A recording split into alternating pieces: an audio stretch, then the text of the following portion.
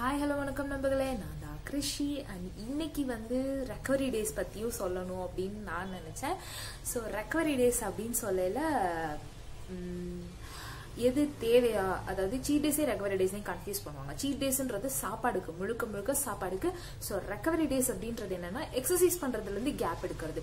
இது ரெண்டையும் most of the time என்ன பண்ணுவாங்கன்னா ஒரே நாளாக எடுப்பாங்க. பட் வந்து அது அவசியம்ன்றது கிடையாது. உங்களுக்கு என்னைக்கு வந்து சாப்பிட்ற ரொம்ப போர் அடிக்குது?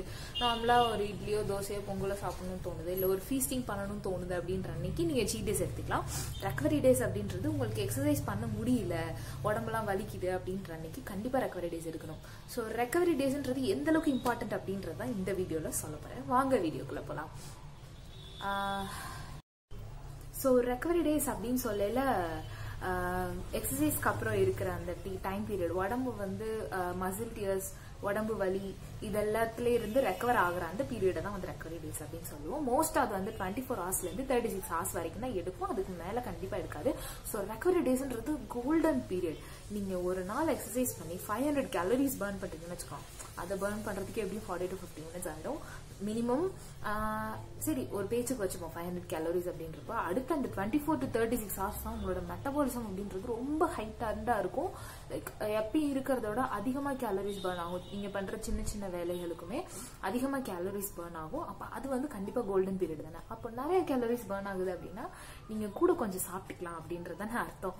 ஓகே கூட கொஞ்சம் சாப்பிட்டுக்கலாம் அப்படின்றது ஒரு பக்கம் இருக்கட்டும். இன்னொன்று என்ன அப்படின்னா அந்த டயத்தில் எப்படி இருந்தாலும் நியூட்ரிஷன்ஸ் வந்து கூட கொஞ்சம் எடுத்துக்கணும்.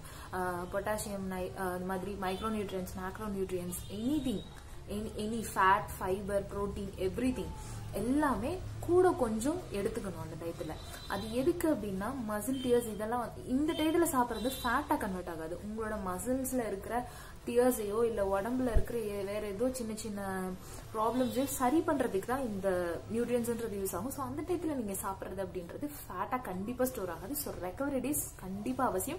அண்ட் அதை விட முக்கியமான விஷயம் என்ன அப்படின்னா நீங்கள் பண்ணுற எக்ஸசைஸ் ரெக்கவரி டேஸ் எடுக்கிற அளவுக்கு ஒரு ப்ராக்ரஸிவாக இருக்கணும். வாக்கிங் போறீங்க ஜாகிங் போறீங்க வீட்டிலேயே ஒர்க் அவுட் பண்றீங்க ஸ்ட்ரென்த் ட்ரைனிங் பண்றீங்க எது பண்ணாலும் உங்களோட அளவு இதுதான் அப்படின்னு சொல்லி நீங்க வந்து டிஃபைன் பண்ணிடக்கூடாது. ஒரு ஒரு நாளும் அது ப்ரோக்ரஸிவா இருக்கணும். முத நாள் ten percent second day okay just push it out to twelve percent அடுத்த நாள் ஃபோர்டீன் பர்சன்ட் அது மாதிரி டே பை டே அந்த இதை ஒரு படி புஷ் பண்ணிட்டே இருக்கணும். அப்பனாதான் ரெக்கவரி டேஸ்க்கு உண்டான அவசியமும் இருக்கும். அப்போனா தான் நமக்கு நல்லா சாப்பிடவும் முடியும். உடம்பு ரொம்ப ஹெல்த்தியாக இருக்கும். ஃபேட்டும் சீக்கிரம் கரையும். Okay bye